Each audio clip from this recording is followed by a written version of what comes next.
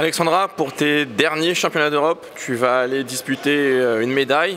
C'est une satisfaction et on peut dire que tu vas pouvoir euh, boucler la boucle. Alors euh, oui, je suis quand même satisfaite de ma journée.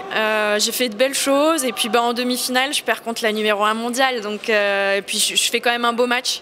Donc bah, c'est comme ça. Hein. Là, il y a 15 jours, c'était moi. Aujourd'hui, c'est elle. C'est le jeu. Après, même si j'ai la sensation vraiment de mettre le premier point, après les arbitres en ont décidé autrement. C'est comme ça, c'est le jeu.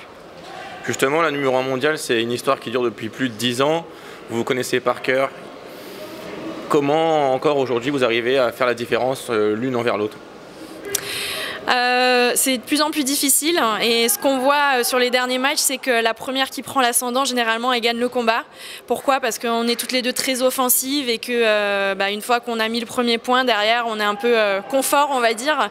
Mais bon je pense que j'ai quand même pas démérité et j'ai essayé des choses et voilà moi je suis vraiment contente de ma journée, j'ai fait, j'ai fait de belles choses et voilà je suis contente pour elle. Voilà, elle mérite aussi, hein, c'est une fille qui s'entraîne dur et donc on te voit vraiment sur le retour là. On retrouve euh, l'Alexandra, même toi tu l'as retrouvé, tu vraiment tes sensations que tu avais avant. C'est de bon augure pour samedi, pour le bronze, et aussi pour le Tekio si tu es sélectionné. Alors aujourd'hui, je me suis sentie un peu plus dans la retenue.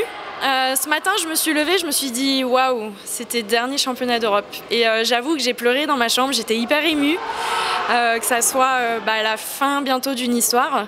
Et euh, du coup, j'avais quand même à cœur de faire les choses bien et j'étais un peu dans la retenue. Et bon, j'aurais aimé être un peu plus comme à Lisbonne, plus légère. Mais bon, je le serai sur la place de 3 et puis de toute façon, les, choses, les choses sont faites. Et puis si, comme je disais, si les portes s'ouvrent, et eh ben j'irai avec toute mon énergie, toute ma détermination et toute mon envie qui me reste encore. Contraire, enfin en opposition avec ta demi-finale où tu connaissais ton adversaire par cœur, pour le bronze, c'est quelqu'un de nouveau, une italienne qui vient d'arriver. Comment tu vas aborder euh, cette, ce match? Comme un autre. Comme un autre, avec euh, de l'envie, avec de l'agressivité et en mettant en place, en imposant mon karaté. Rien d'autre, parce que c'est ce que je fais euh, depuis bientôt 18 ans et jusqu'à maintenant, ça m'a plutôt pas mal réussi. Merci.